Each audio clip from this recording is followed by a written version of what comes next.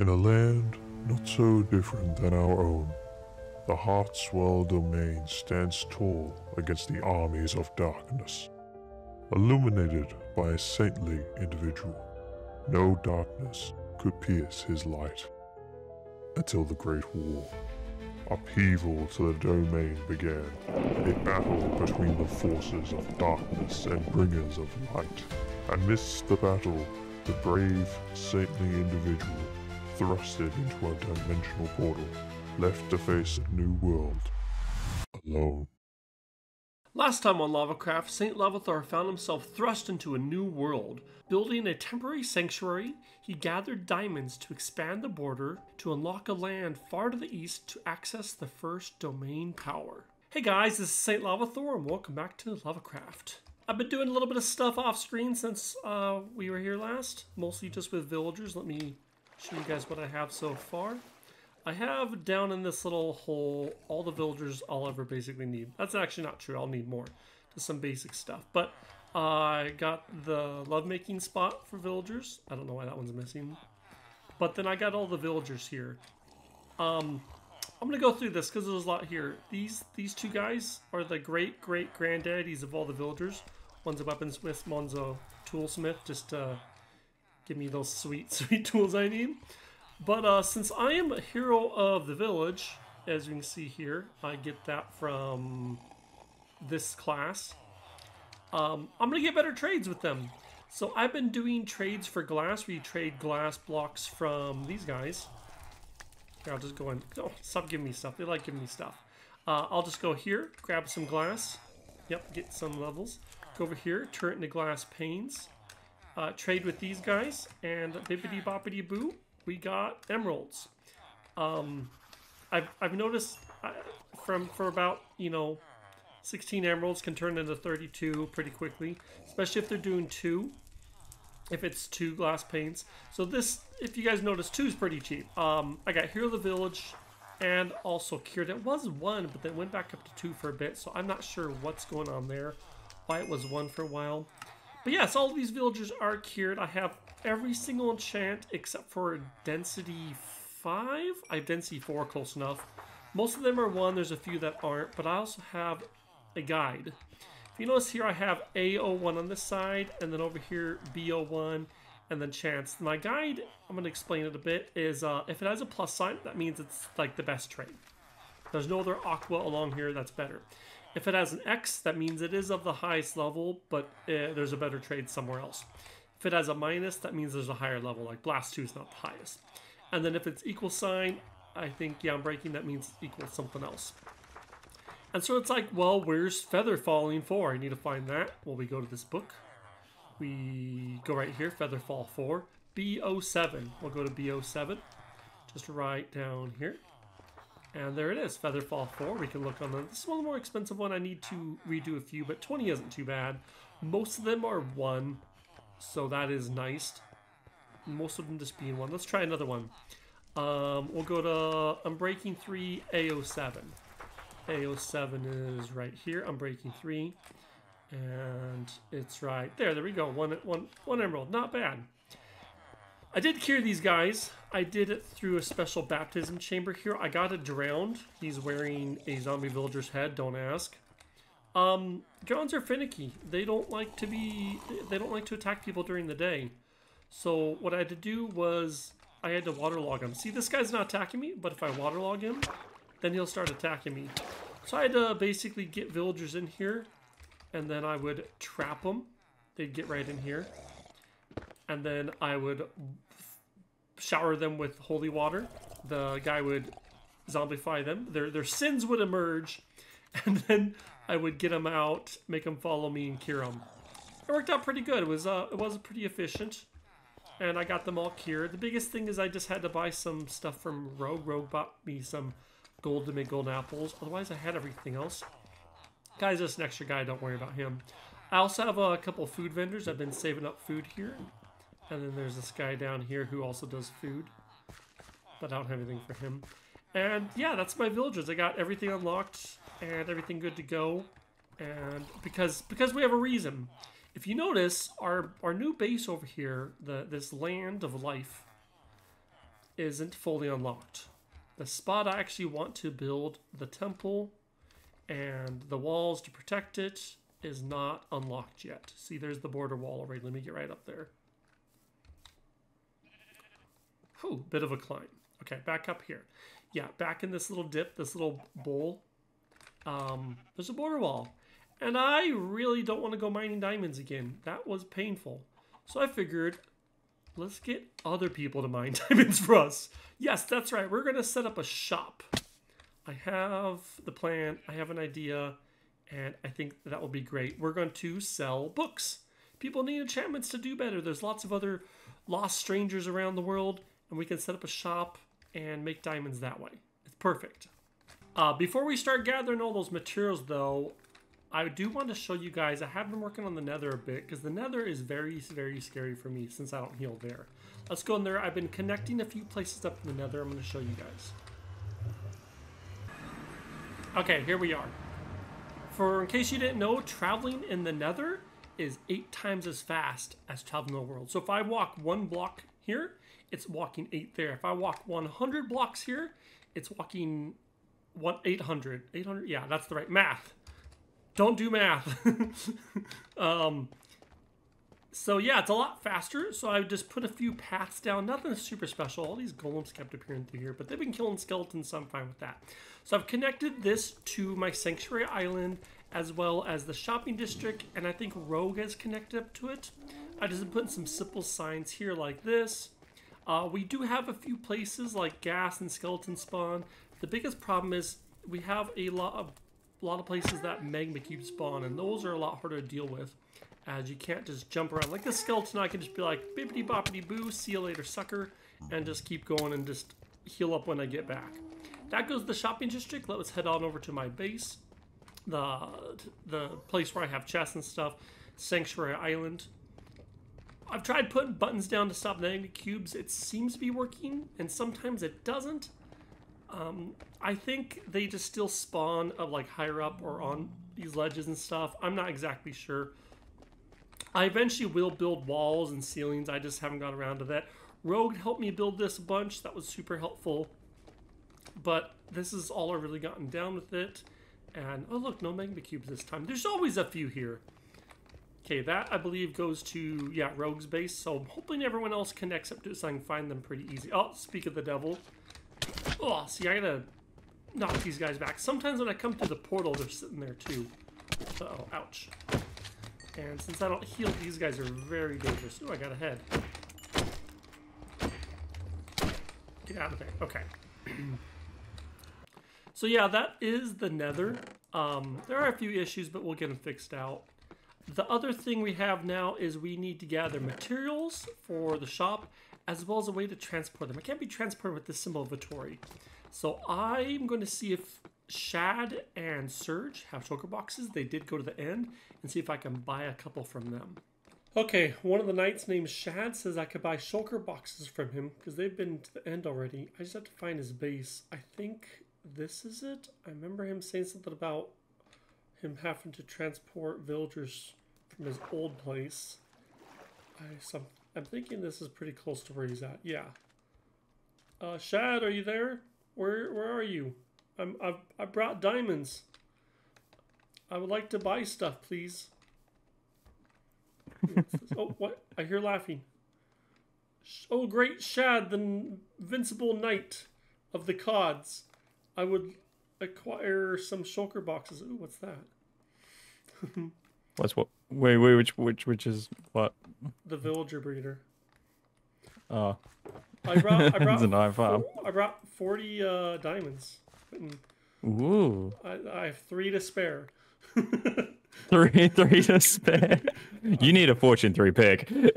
well, I have one, but I haven't gone mining since, since well, since that creeper blew me up. Oh lol. Those diamonds are just, Okay, I happened to find them on the walls when I was searching for stuff. Also, eight diamonds, so five. Yeah. So Also, for all five. so Okay. you also you want to show off your island? Oh wait, not the black one. not the black one.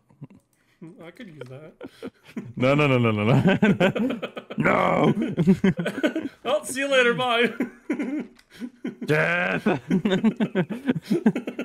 I'm collecting heads today, it seems. uh, no, thank you.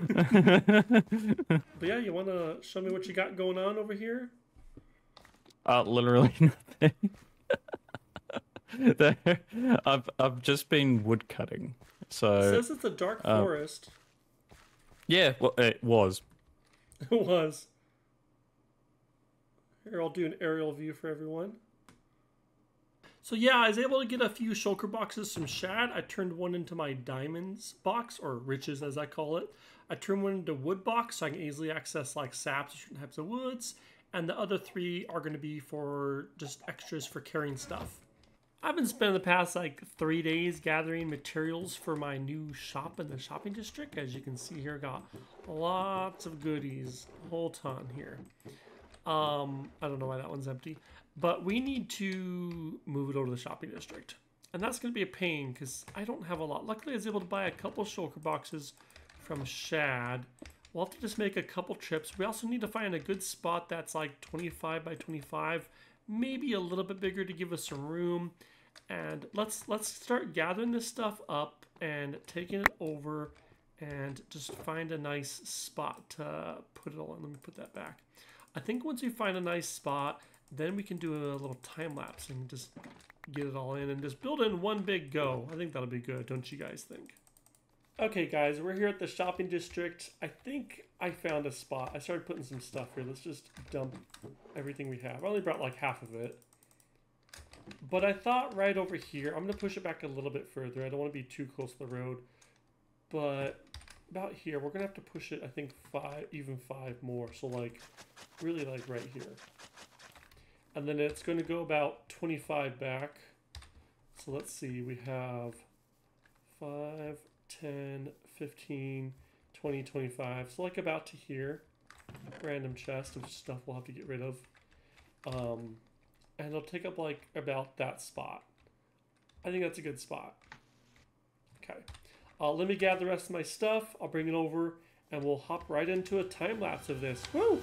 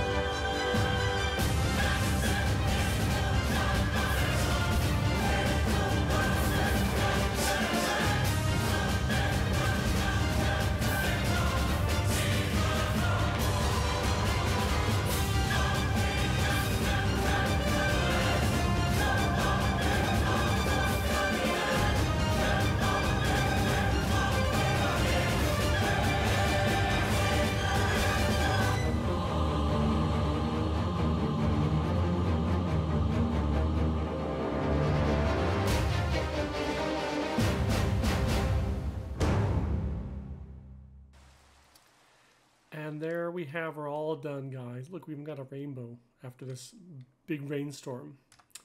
Um, yeah, so first off, I found these guys. We'll play with them later, but let me kind of show this off a bit. I went ahead and extended this to the road.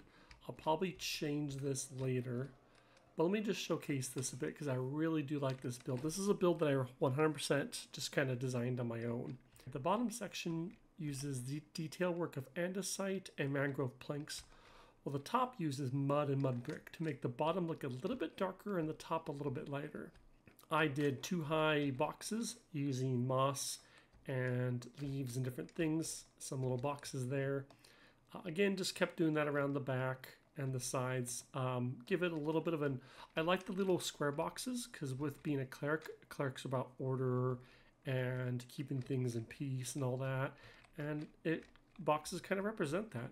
It wasn't coming together with the roof, but I tweaked it a bit, and I really like to settled on this design, and I think it's pretty nice especially with the warped wood and a little bit of streaks of the copper. I think it makes it pop really nice. The place is called the Spoken Word. If you notice, first off, the doors will open for you. Pop. But you notice they don't open on their side. I got a little sculk sensor here. See right there, waterlogged? And it's set up to these so it will open them. But I put wool around uh, so it doesn't go, it's only one way. Now, if you get high enough, it will still do it. But we have this little mudroom and then a staircase and enter into the lower section. We have mostly armor and as well as the general chance bargain bin and the curses here um, to kind of get at. And of course your essentials. We have a jukebox that's not essential, but anvil, ender chest, you know, a little welcome message. Welcome to the spoken word. Uh, there's a few enchants I don't have because you can't get them from villagers. So yeah, those I'll have to find some later. Our first secret though, we do have secrets here, is this guy. Listen very carefully. And it gives you a cookie. Listen again. Isn't that amazing? Uh, we do have one of the new paintings. I really like the new paintings that added in. We have uh, a priest of a, a llama priest. I haven't quite figured out their name yet, but I really like him. He's uh, helping out the shop, a little statue of him. Uh, but then we have more chance. I don't have a mace, but these are the mace and chance. And then same thing over here. I don't have a trident, but these are the trident chance. And then uh, sword ones are all over here. It's a little dark here. My chandelier isn't bright enough. I'm not sure. I could try and do probably a lantern here on top. Let me go grab that. Okay, let's maybe just put it like right there. Hopefully that'll help light up a little bit. Yeah, it's it is what it is. Also, if you notice, I got little spores. I think they animate the area, make it look nice coming down, make it look more uh, uh, homely feel. You know, make it feel nice, like even nature likes it. But yeah, I think it came out very nice overall. One of my for for a build that I 100% made on my own. I think the only thing I looked up was the chandelier. I looked up that. And then, of course, it has little secrets and stuff in it. Oh, one more secret. I almost forgot. Let me show you guys this. This is amazing. So the new... Oh, let me... um. This thing's on, and if you push a button, it's supposed to toggle it. Well, this button, poof. It doesn't toggle. It doesn't toggle. Um, if someone can explain down the comments why it doesn't toggle, I want to see if anyone can guess it correctly. If you guess it correctly, I'll respond to you but why it doesn't turn off when you press the button. Uh, I'll, I'll kind of showcase as much as I can here. Oh, look, it already went dimmed. Um, see if anyone can guess why that turns off. I think it's a cool little thing I did, and I hope someone can guess it, because it's pretty simple. Let me get out of here. But yeah, I really like it, especially how it's animated with the doors and stuff. I, I think it came out good. If you guys have any improvements for it, let me know but I hopefully we can use this to make lots of diamonds and finish off our base and get going on our base because I really need to work on my base. But I think we're going to end there. Uh, thanks for watching, you guys. Make sure to like and subscribe. I'm trying to get to 500 subscribers or followers, whatever they're called, so I can do a Steam giveaway. Uh, tune in next week. We are going to use the diamonds to expand the border and start working on our base to get uh, the domain power of life and get our first domain power, which will be exciting.